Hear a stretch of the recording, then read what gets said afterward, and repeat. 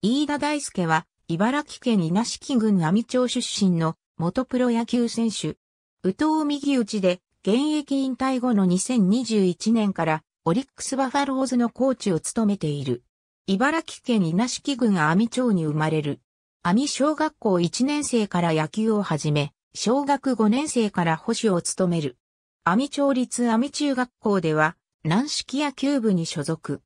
上層学院高校では1年夏からベンチ入りし、3年連続で夏の甲子園に出場。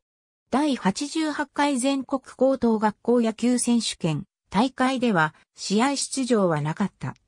その後、1年秋からレギュラーとして活躍。第89回全国高等学校野球選手権大会では1学年先輩のエース清原大輝とバッテリーを組み、初戦の京都外大成高校戦では9回1安打、無失点に抑えていたが、延長では点の取り合いになり、延長12回で3から5で敗れた。第90回全国高等学校野球選手権記念大会では、初戦の関東一高校戦で4安打1本塁打と結果を残すが、5から13でこの年も初戦で敗退した。甲子園、通算2試合、打率、500、1本塁打2打点。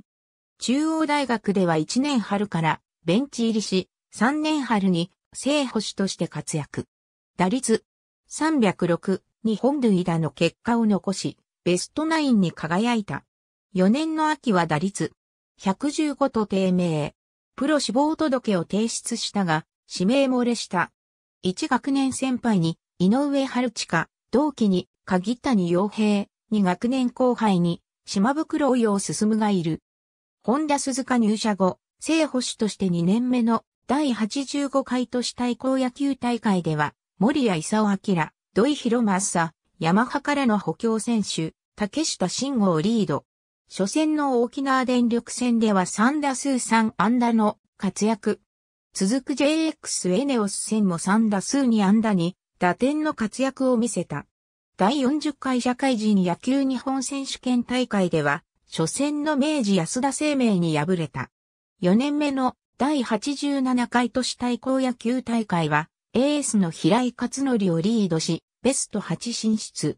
第42回社会人野球日本選手権大会では、初戦の新日鉄住金広畑戦では平井をリードし、森原公平との投げ合いを制し、完封勝利に貢献。続く大阪ガス戦は、酒一氏に抑えられ、0から9と敗れた。2016年の NPB ドラフト会議で、オリックスバファローズに7巡目で指名。契約金2500万円、年俸1000万円という条件で入団した。背番号は45。2017年には、ウエスタンリーグ公式戦41試合の出場で、打率228をマーク。レギュラーシーズン終盤の10月3日には、札幌ドームの対北海道日本ハムファイターズ戦で、9番、保守として、スタメンで1軍公式戦へのデビューを果たした。2018年には、ウエスタンリーグ公式戦39試合の出場で、打率255、2本塁打を記録。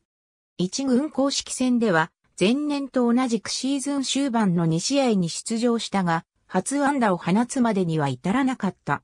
2019年には、ウエスタンリーグ公式戦53試合に出場したが、打率が157と低迷。一軍公式戦には入団後最多の8試合に出場したが、無安打でシーズンを終えた。2020年には、ウエスタンリーグ公式戦46試合に出場。打率は200で入団後初めて一軍公式戦への出場機会がなかった。安定した守備で若手の投手から熱い信頼を得ていたが、一軍の公式戦で一本も安打を放てないまま、レギュラーシーズン終盤の11月4日に、球団から戦力外通告と同時にコーチへの就任を打診されたことを受け、現役を引退した。12月2日付で NPB から自由契約選手として講じ、2021年からオリックスのブルペン担当補佐に就任。